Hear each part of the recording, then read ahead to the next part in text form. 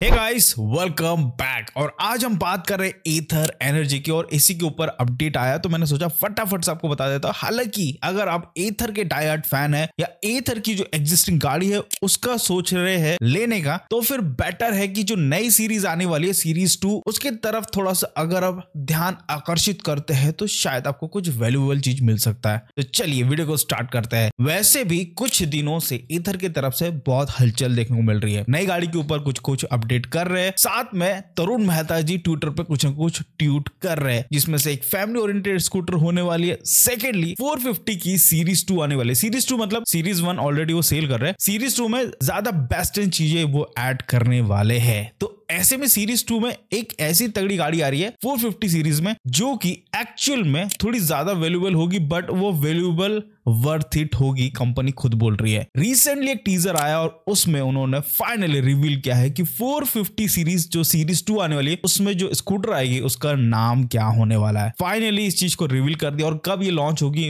वो भी बता रहे हैं। ये जो स्कूटर आ रही है इथर की तरफ़ से उसका नाम होगा इथर 450 एपेक्स भाई, क्या तगड़ा नाम सोचा इन लोगों ने मज़ा आ गया अपेक्स नाम सुन के। हालाँकि तगड़ा प्राइस भी होगा, इससे कोई दो राय नहीं है। कंपनी ने बोला है कि यहाँ पे बेस्ट इन क्लास फीचर्स वो ऐड कर रहे हैं। अभी तक 450x में जो दिखा, उससे भी बेस्ट इन क्लास फीचर्स वो ऐड कर रहे हैं इस गाड़ी में। परफॉर्मेंस खतरनाक है और थोड़ी सी लाइटर होने वाली है। और यहाँ पे जो बैटरी है, वो भी थोड़ा सा बेटर किया जाएगा, जिससे रेंज ज़्यादा मिल पाए। लेकिन द थिंग इज़ दैट कि इस गाड़ी को लॉन्च कब किया जाएगा? सबसे बड़ा जो सवाल था, वो यही था। तो फाइनली तरुण मेहता जी ने इस चीज़ को भी रिवील कर दिया कि टेंथ एनिवर्सरी जो डे थे इनकी एथर एनर्जी की, उस दिन ये गाड़ी को लॉन्च किया जाएगा। वैसे अच्छी बात है कम से कम, कुछ नया तो ये ऐड कर रहे हैं। हालाँकि प्राइस भी इसकी ज़्यादा होने वाली है। साथ में एक जो इलेक्ट्रिक स्कूटर की बारे में बात की जा रही काफ़ी समय से that is family oriented electric scooter जो एक्चुअल में टीवीएस आईक्यू को टक्कर देगी। उस लेवल की ये गाड़ी बना रहे हैं। उसमें जो पावर फिगर है वो लेस होने वाला है। सेकेंडली जो बैटरी है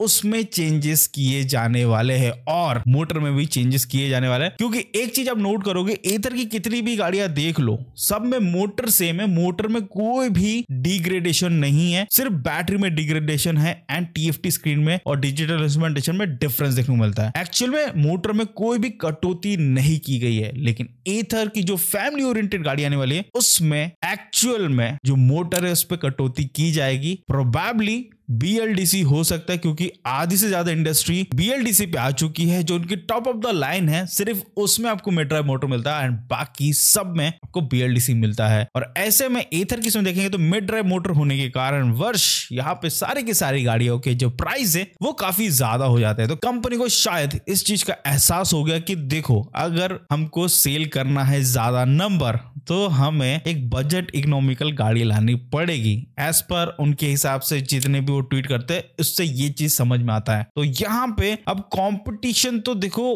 कंपनी कैसे भी कैसे करके करने ही वाली है दूसरी कंपनियों से।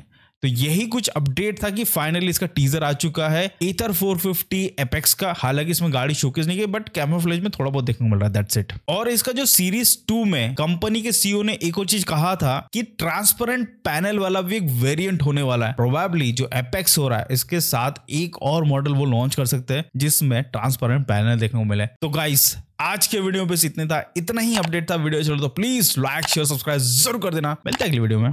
बाय